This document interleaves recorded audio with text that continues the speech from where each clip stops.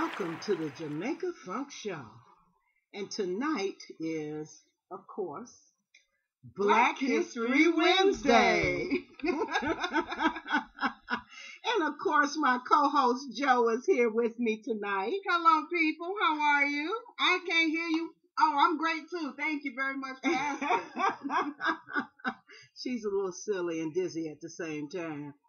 Um, but, anyways, tonight we're going to be doing uh, first Prince Rogers Nelson. Prince because his birthday is tonight. Happy birthday, Happy Prince. Happy birthday, my Prince. Yes, and unfortunately, we don't have any Prince music, but we're just going to give you some information about who Prince was in case you all don't know who he is. We feel that he is a black historian. Yes, he is. It's not that they don't know who he is, but we're going to just give him a little bit more. A little, a little, yeah, something that you may or may not know. Exactly, Yeah. exactly. And then we're going to do, um, come on, help me out, sister.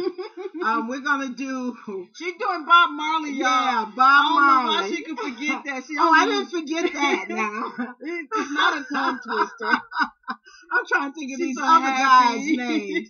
Wait a minute, she's got some. She went and got some some real names. One is what Oh, Norbit. Some other real names. Yeah, These are there's a real black, name, Real yeah. black men.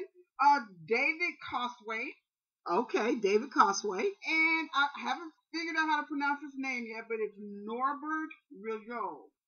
Norbert Rillion. He's He- French. yes, it's a French last Born in name. New Orleans, honey. Yeah. Born in Orleans. Yeah, or And- Louisiana. Right. And I'm going to give some unknown history about black politicians. And we got some Jo's poetry. And of course, tonight we got some sweet, sweet reggae music. So sit back, relax. And uh, you know what? I'm gonna hit you with some Bob I do got some Bob Marley.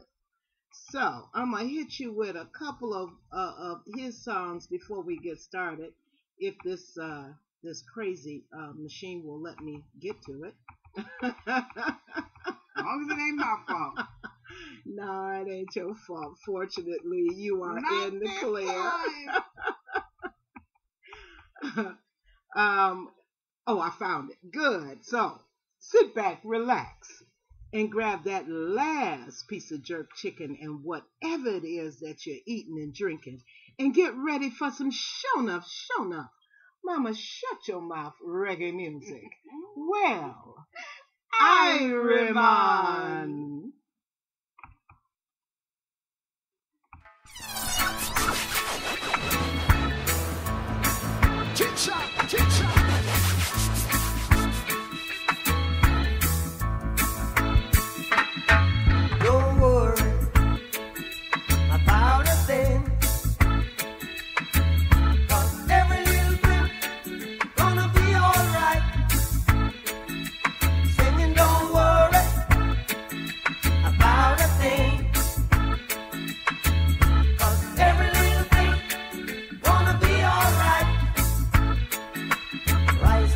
morning.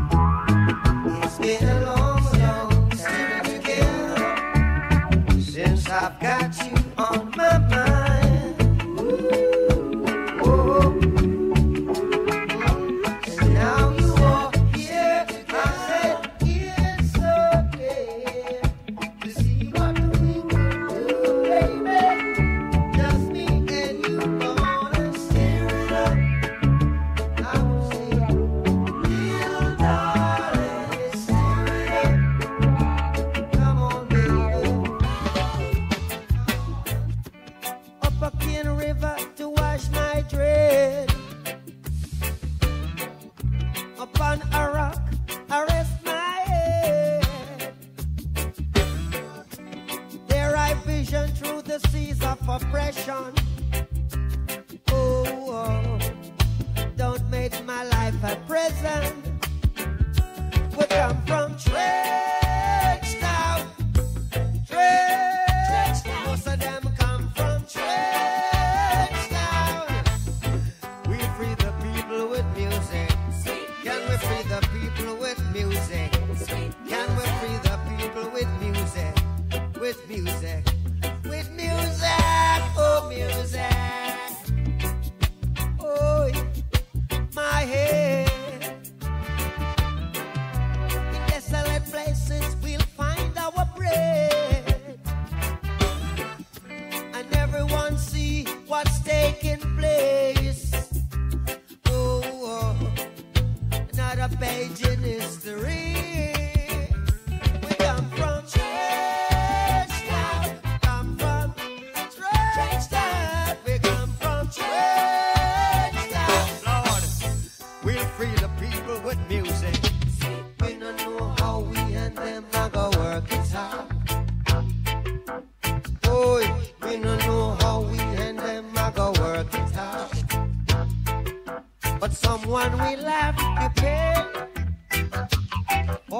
Innocent blood that they shed every day. Oh, children, mark my word. It's what the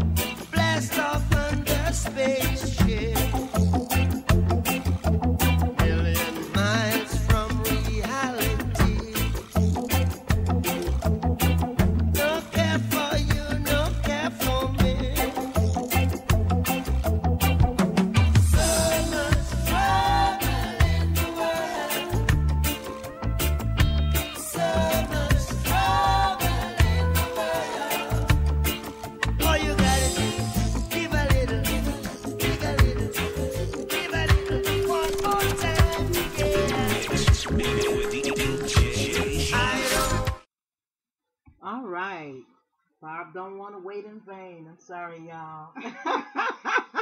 That's very profound, though. I know you would have loved to hear that, and we'll play that. Okay, we we will play it. We will play it.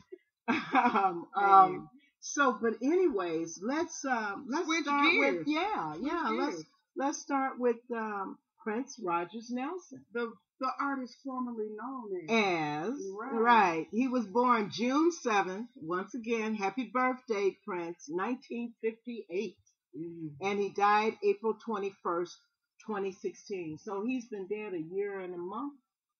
I don't know. Yeah. yeah. A year- a year month and two months. A month and a couple year of and- days and a couple Yeah, of weeks. so. Yeah, a month and a couple of days, right? Mhm, Um, he was an American-born singer, songwriter, actor, multi-instrumentalist, philanthropist, dancer, and record producer. Um, he was a musical genius. They call him innovator, but I call him a musical genius. I like innovator, but go ahead. Well, innovator is a sophisticated Yes, word, but is. genius is an even better word Okay. because people understand that. Okay. Who was known for his electric work, flamboyant stage presence, extravagant dressing, uh, makeup, wide vocal range, His music integrated wide varieties of styles including funk, rock, R&B, new wave soul, psychedelic, and pop. He has sold over 100 million records worldwide, making him one of the best-selling artists of all times. He won seven Grammys, an American Music Award, a Golden Globe Award, and an Academy Award for the film Purple Rain.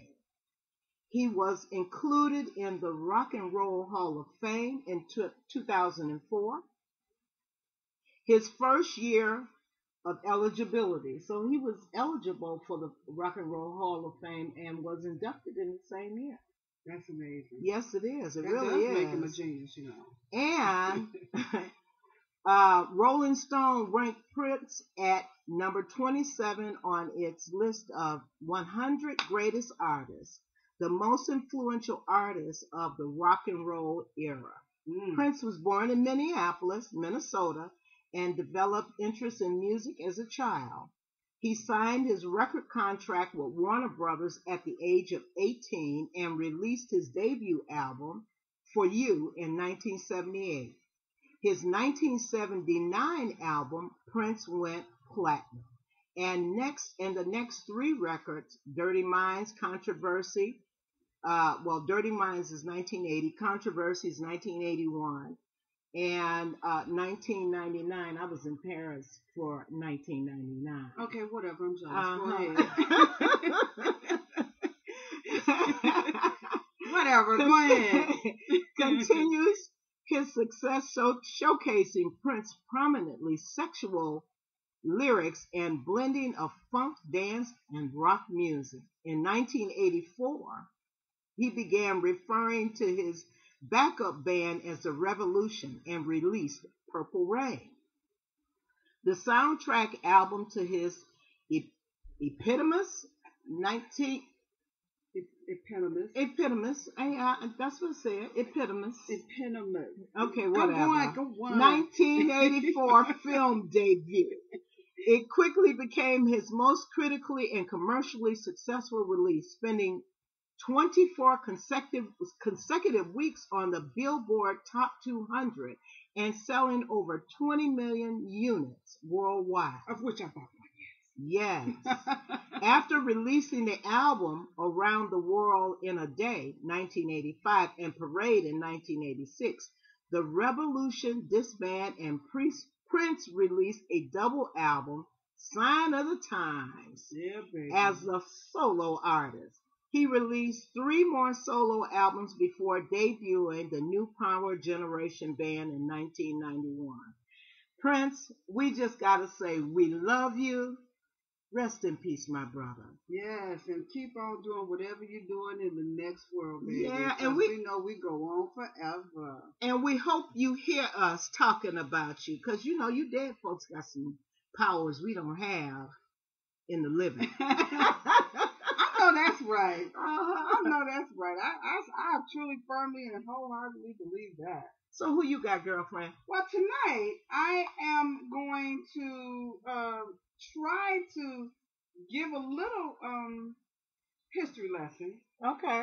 And tonight I'm going to do of our 101 little known black history facts. People who seem to have just died into obscurity but actually live on today in the work that they did.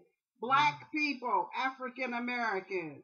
Okay, so this first one is number 83 on the list, and his name is David Crosthwait Jr. He was born in Nashville, Tennessee, and was an expert in heating, ventilation, air conditioning, and he designed the hearing system for Radio City Music Hall in New York. During his lifetime, he received some 40 patents relating to heating, ventilation, and air conditioning. So all that cool air we have today is due to the works of a black man. How about All that? right. All right. Second, we have number 81 because we did number 82 already. And number 81 is, please don't hurt me, people. His name was Norbert Rillieux, born the son of a French trader and a slave in New Orleans. He was educated in, in France. Returning to the U.S., he developed an evaporation system for refining sugar. Right, Mm. right. He he patented he patented this device. Mhm. I'm not sure what it looks like in 1846. Wow. Right. Rouleau's evaporation technique is still in use today in the sugar industry, and it is also used for the manufacturing of soap and other products. Oh, cool, cool. Well, guys, um, we're gonna give you some Jo's poetry right quick. Jo, what what do you think I should? What you what you think I should play for him? Well, what you got on the? You know what? Well, I got I got, got a little bit of stuff. something. I, I got a little something, something. Could I, Uh, if I could just, um, If I could just is cool. okay, cool. Let's do that. Uh, guys, sit back, relax, and get ready for some serious, serious Jo's poetry. Well, I remind. Oh, come on. because of all the tasks that are left undone from the day before. No matter how many lists I make, no matter how many check marks I make on each line, no matter how many times I strike off a task to mark the completion of the many obstacles that block my everyday, it's never done. The obstacles of just getting out of the bed, my bed, my warm, cozy, wonderful bed, because the dream I was having was one of my favorites. I was holding a flower to my lips, and you come up behind me and replace it with yours. And I can feel how full and wet and soft they are. I can feel my hands caressing your hair and face. Everything is warm and soft and hard and full. And I can feel myself drifting into that euphoria called an orgasm in my dreams. And the alarm sounds off, and as bad as I wanted to hit the snooze button, I know I should just wake up and face the day. That damn list. That list of tasks that I mean to accomplish every single day. And it would mean so much to me if I could just make myself feel that way sometimes. I can do so much by myself on my own. And I don't have any self esteem issues. I don't need a knight in shining armor because I can save myself in this wretched world most days. So don't get me wrong or get it twisted. It's not bad. I just rather have a partner sometimes. Someone who realizes that it doesn't hurt to sing the praises of the one you love. I just want to know if you're still in this with me, or are you just sitting on the sidelines, joining in when you feel like it, because it seems like too much work for you now. So my head is just screaming, wake up. And I tell it, shut up, because it's way too damn early in the morning to have to deal with this. On the list you go to my bed, my pillow, my cozy socks, some soft music, in hopes of my dream lover returning to me.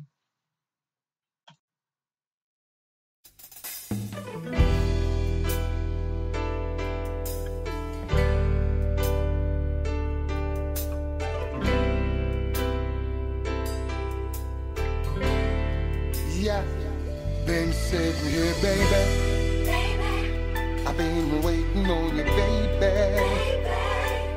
Keeping my cool, taking it smooth, watching all the guys manufacturing lies. Now I know it's time to break away from the crowd. You and me ought to be alone,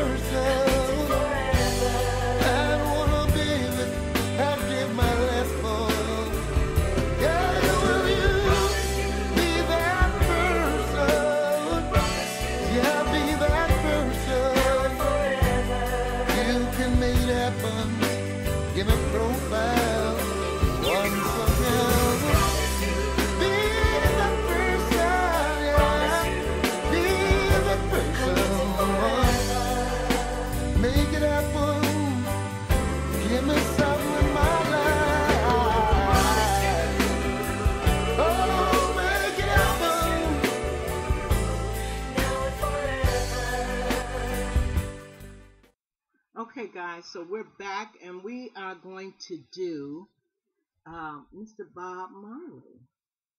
So, did you know, Jo, that um, Bob Marley was um, a very, very poor young man? Yes, that I did very, know. he comes from a very poor family. as poor as, and I saw this on they were TV dirt recently, poor. They as they Bruno one Mars pair of shoes. dirt poor. Bruno Yeah, oh yeah, Bruno poor. poor. So yeah. yeah, I knew yeah, that. yeah, he, Bob Marley. Um, uh, they were saying that he, you know, had one pair of shoes and maybe one suit of clothes to wear and what have you. yeah. Um, said most of the time the kids ran around because he, um, he, well, let me just get into it and ahead. I'll tell you a story. Yeah, because I'm listening. I'm waiting to hear. So, Robert Nesta Marley was born in St. Mary's, Jamaica, in a place called Nine Mile. He arrived on February 6, 1945, in his grandparents' house, whose grandmother lived to be 135 years old. Bob's mother was black and his father was white. Because of his parentage, he called himself an outcast. When Bob was 16, he and his mother moved from Nine Mile to Kingston, Jamaica, in a place called Trenchtown, uh, in search of a better life. That's where the magic all began to happen. Bob worked as a welder with a guy by the name of Desmond Dekker. Now, Bob and Desmond shared a love of music, so one day Desmond went into the studio and recorded a song, and he let Bob hear it. Well, Bob was smitten. Bob begged Desmond to take him into the studio so he could record a record, and Desmond did just that. The name of the record was No Judge because Bob was tired of people judging people. And so he made a song called No Judge to express his sentiments, which didn't sell. After they recorded his first single, the people at the recording studio wanted to change Bob's name from Bob to Adam. Bob wasn't having any parts of that, so he remained Bob Marley. You. Soon, Bob became friends with Peter Tosh, Benny Wailer, Ju- Junior Braithwaite, excuse me, Beverly Colosso, and Sherry Smith. They formed a group called the Teenagers, which was sort of short-lived. Um, they changed their name a couple of times, but they wound up becoming the Wailers. Hmm. At the age of 17, Bob's mother moved to the U.S., which left Bob homeless. Now, a record producer by the name of Clement Coxsone Dodd, who also discovered the Wailers, gave Bob a place to stay along with another friend of his named Dudley Sibley. Coxsone was like a father figure to him. He gave Bob a record player and some foreign music so that Bob can listen to it and get a sense of how to formulate his music when he's writing it. Mhm. Then a guy by the name of um, Doug, wait a minute, not Doug, Drew, by the name of Drew Hicks, a manager, he was a recording manager. He took on the Wailers as a project. He told the Wailers to practice and practice and practice. So they did. They practiced and they also did small gigs all over town, even did a concert in the cemetery because Drew told them that it would give them courage if they would sing for the, as they call it, the duppies. That's Oh. dead people. Oh, I got a lot to learn. Keep it going. It took the Wailers two years before Hicks said that they were ready for a real concert. Simmer Down was the Wailers' first number one hit. It went to number one on the charts in Jamaica. Then they had 10 top hits also that they recorded a little bit later on, but they never made it any further than Jamaica. Now, Bob was a shy guy, and he had been watching this young lady by the name of Rita Anderson. Bob didn't have the courage to go up to her and talk to her, so he sent his friend Bunny over to talk to her. Mhm. Ain't that just the way men do? Yeah, some of them. this young lady became his only legal wife. They were married on February 10th, 1966, and was by his side until Bob's passing. Bob had 11 children. Not all were by Rita Marley. Uh, as a matter of fact, Bob had children by Cindy Breakspear, who was Miss World, Cheryl Murray, to name Wait, and wait, Cheryl wait. and Cheryl Murray. Huh? Dude, dude had a relationship with Miss World, as in the Miss World pageant, Mhm, Miss World. mhm. Oh. Yeah, yeah, yeah. What? They they actually lived together for a little while. Yeah, yeah, yeah. While he was married to Rita. All right, Um, go on. Yeah, and then he also uh, had a baby by a young lady by the name of Cheryl Murray. Just to name a few of them. Bob, they said Bob had nine baby mamas. Uh huh. What a lucky man. I'm being joking now, people. and his wife Rita had one child when they got married, Sharon, which Bob adopted. His last child was born after his death in 1981. Even though Bob Marley had numerous hits in Jamaica and throughout the world, to name a few of those hits that he had that went international, there was Stir It Up, Waiting in Vain, Satisfy My Soul, Get Up, Stand Up, Soul Rebel, Exodus, Three Little Birds, Buffalo Soldier, and Redemption Song. Mm. And that's just only a few. Bob was an activist, a philanthropist, and a writer and composer, and a musician. Unfortunately, Bob died May 11, 1981, having cancer, which began in his toe after a soccer game accident. Rest in peace, Bob Marley. We love you. And that's my boy. Eh? Yeah, you got a bunch of them. I ain't gonna say nothing though. So, uh, what you got going on? well, you know what? I I want to talk about the uh, black politicians in this country. Mm-hmm. Did you know of the 101 facts that I have found out? This is this is probably, without a doubt, the most little known fact about uh, Black history. Um, it's been buried, to be to be to be sure.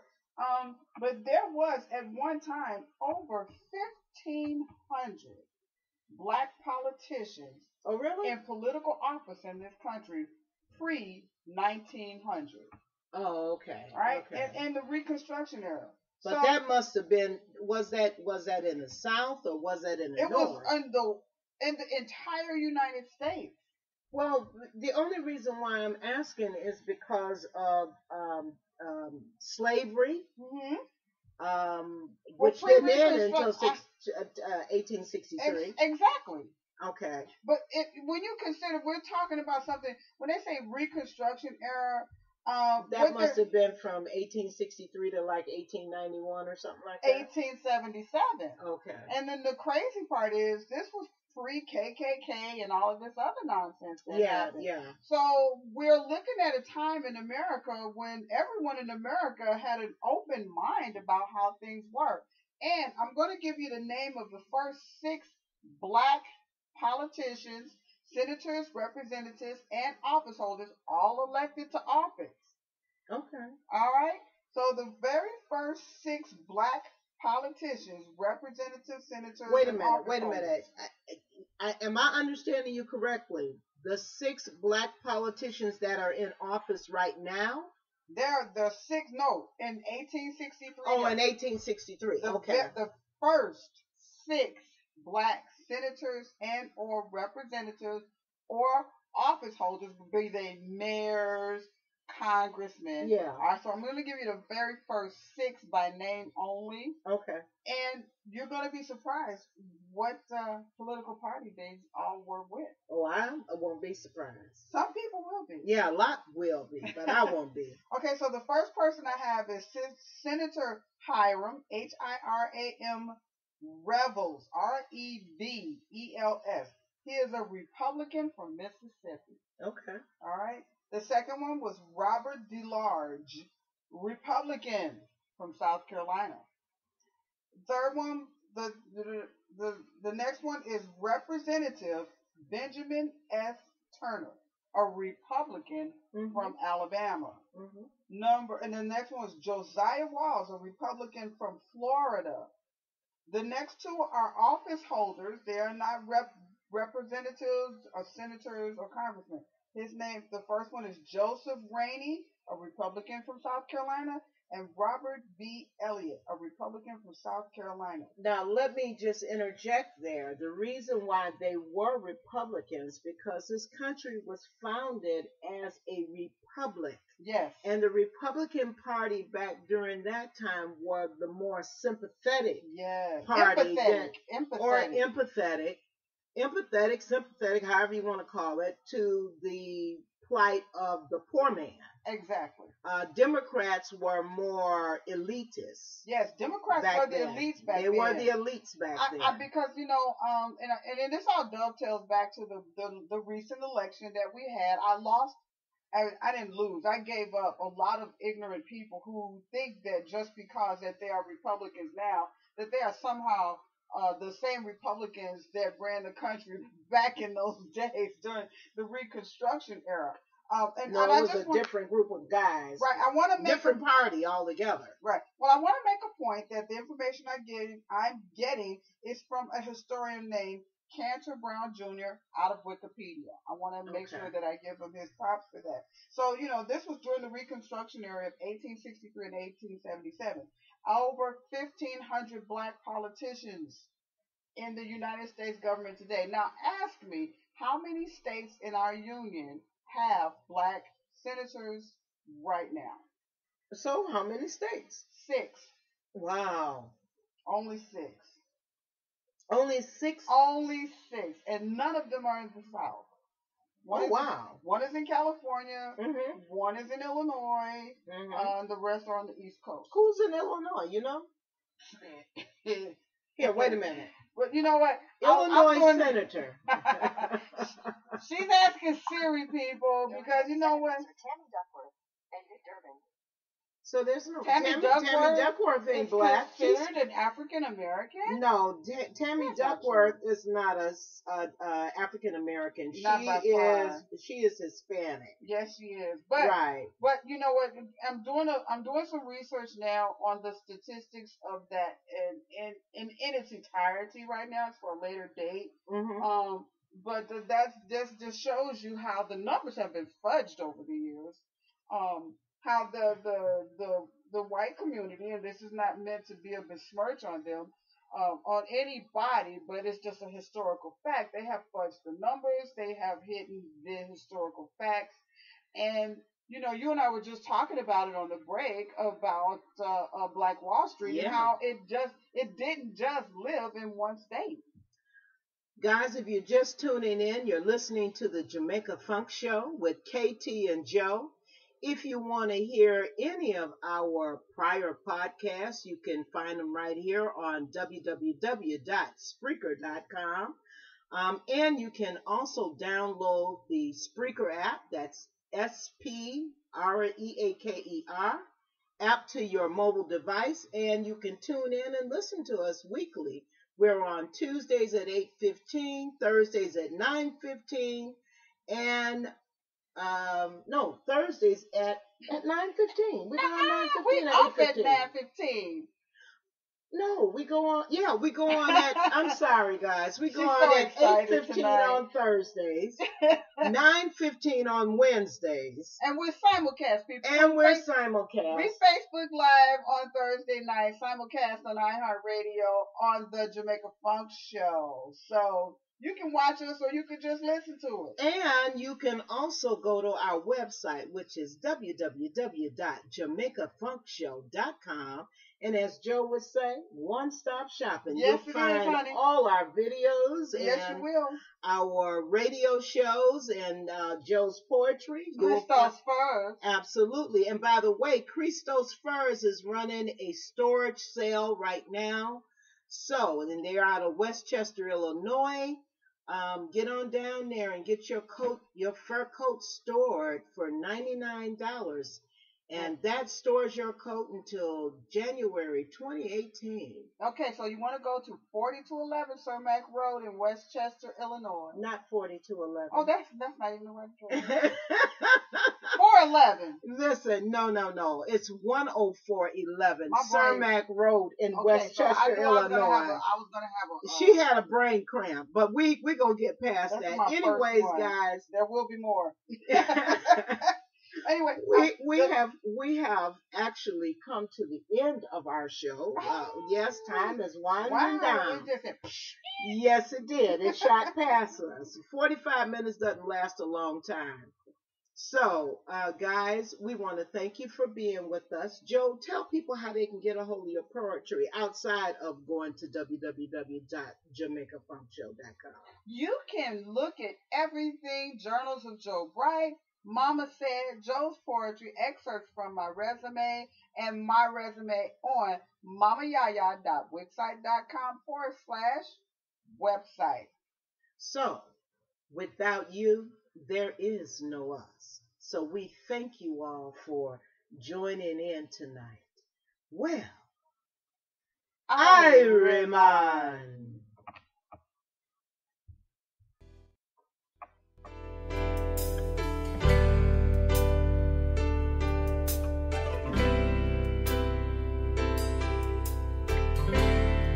Yeah, been sitting here, baby. I've been waiting on you, baby.